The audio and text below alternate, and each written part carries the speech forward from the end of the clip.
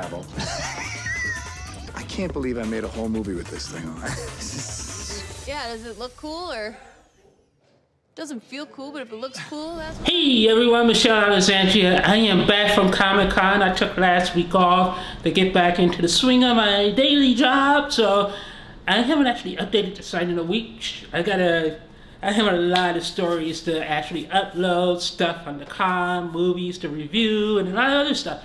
But today's Tuesday, July 30th, and that's the, it's the blessed, blessed day that Avengers Endgame is now available on the fabulous digital, on the Vudu digital service platform and in 4K UHD. I'm still a little salty that Disney is not supporting uh, 4K on the Apple TV platform. I guess we're going to have to wait till the Disney Plus service launches in October or November, whenever the hell it's going to launch, um, because all of that stuff is going to be in 4K UHD. So I'm assuming at that point um, everything on the Apple TV will be in 4K UHD, which means most of my Disney stuff should automatically update.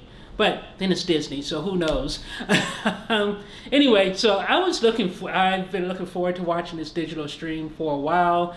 Um, it, it just chaps my butt that the physical copy uh, comes in two weeks, two weeks after the digital stream, and Disney's supposed to be sending me a physical copy at some point in the next few days. And I know me, I'll buy this digital stream and it won't work. And then and then I'll get the digital copy a couple of days later and I'll be salty. But I had already pre-ordered it on Best Buy. But like a dummy, I went out and bought it this morning because I just couldn't wait to watch. So this is where I tell you that I only watched 90 minutes of it. I spot check uh, most of it. I didn't watch, sit down this morning, watch all three hours before I went to work, so I only watched 90 minutes of it, and I just skipped around to check the quality of the stream. And I gotta say, I was a little disappointed in this release. I mean, it's big. This is the Avengers Endgame. It should be big. It should be bold. It should be bombastic. Or even it was in the theaters, and the first thing that kind of chat that kind of really annoyed me was the fact that it was still letterbox, so you get the black bars at the top and the bottom, so half your screen is cut off, and that just irritates me to no end these days. And I don't, I just don't, and I'm going to mention this in every single video, and from now on, I'm just going to automatically downgrade a picture by like one four letter grade, because we have 55 inch TVs these days. 55 inch 4K TVs are kind of the norm now, so there's no absolutely no reason for 4K releases to still be in letterbox letterbox format. At the very least, studios should actually give us the option to either watch stuff in full screen with maybe in, you know, with the regular TV presentation that's a little slightly off, or just give us a full screen presentation and then let us choose between whether or not we want to watch something in letterbox or not. It's just annoying that we're forced to still watch letterbox crap on 4K.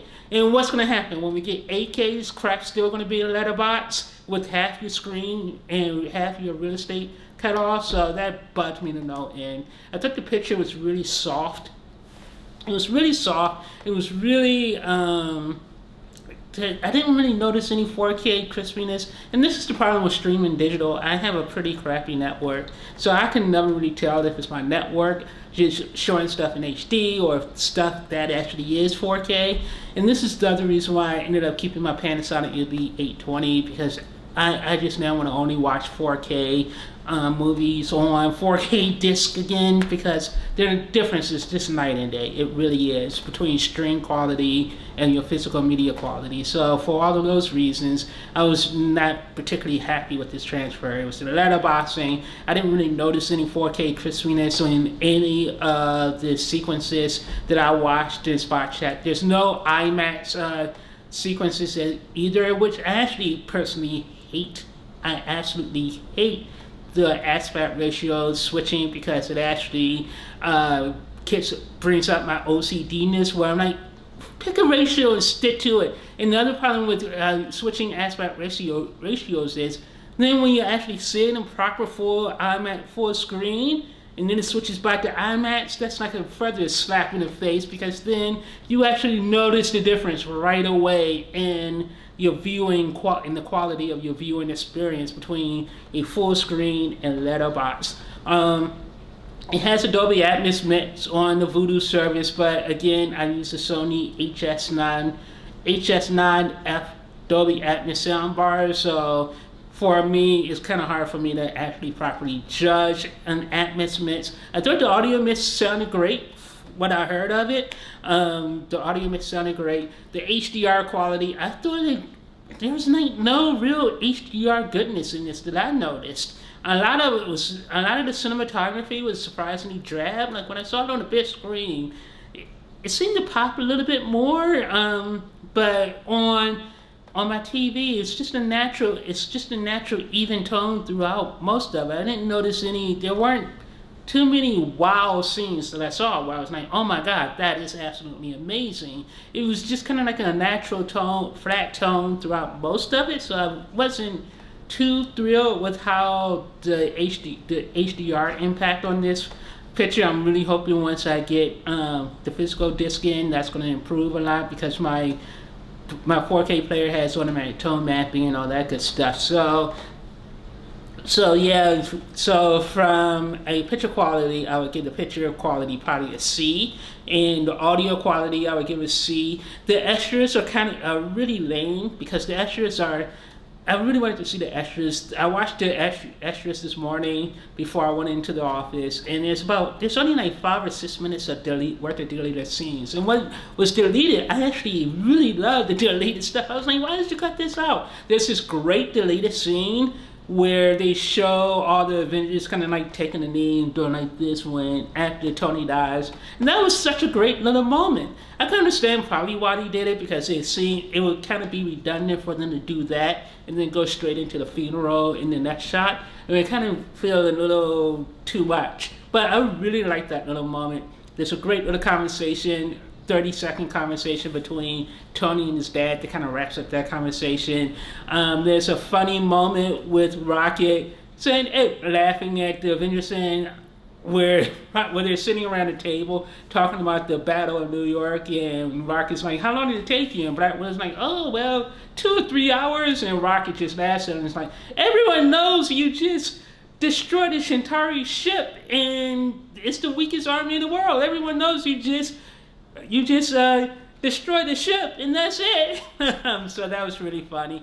Then there's a, a 20 second clip between, uh, not, it's a Rhodey between, uh, Ro between Rhodey and Captain America where they're talking about Captain America, Steve crashing his ship and he's like, I don't understand. Why did you crash the ship? And he's like, there were bombs aboard. And then he just kind of looks at him and goes, hmm, bombs? Why didn't you just jump out of the plane. And you're like, oh my God, that is so simple. oh, so, so I really love that moment as well. Um, it's still Avengers Endgame, and I love this movie to death. So um, I'm looking forward to getting the actual physical media in, either hopefully from Disney, hopefully follow through and send it to me in the next few days. I'm not holding my breath because, you know, seven out of ten times Disney will follow through. The other three times they won't. And they normally screw me on the really big ones, like Avengers Endgame. So we'll see if I get that in. But yeah, I just wanted to do a really quick video review of Avengers Endgame. And if, in case you're wondering, I'm going to start trying to tell you what equipment I'm using to watch this stuff on because that's the one question I have for a lot of 4K reviewers is what kind of equipment they have. So I'm actually watching this on my 55 inch LG B7 OLED TV. I have, and then I have, like I said, a Sony HT9F Dolby um, surround bar set up. And when I move, I'm actually going to get this Onkyo uh, six channel surround sound package um, when I move. And actually, you can get that thing for like 700 bucks. So yeah, I'm getting that when I move. So I'm going to have a real live, real full scale uh, Dolby Atmos setup in my condo, wherever I end up moving to, I actually have a place picked up. But so I'm moving at the end of August, and I have all that stuff set up, really nice. And then, uh, and then my 4K player from when I finally watched this on 4K is the Panasonic UB820. Yes, people, I ended up keeping that player. Um, so because I know me, I'm gonna I would regret returning it, so I kept it, and I love that player anyway. Even though I don't really watch too many 4K movies, and I keep looking over at it for some reason. Um, so yeah, I'm gonna have a lot of videos coming up in the next week, a lot of post Comic Con stuff that I still gotta post. I mean, I have interviews with uh, with DJ Quil, Qualls, uh, Tricia Helfer, and all these people in the cast. Uh, Creepshow, uh, Van Helsing, um, V, um, and, and some other stuff. Oh, uh, what's the Kristen Bell show on NBC? Uh, the Good Place. Have interviews with that cast. Um, so yeah, I, and, I, and I still want to tell some Comic Con stories as well. So anyway, I will talk to you guys later. Bye.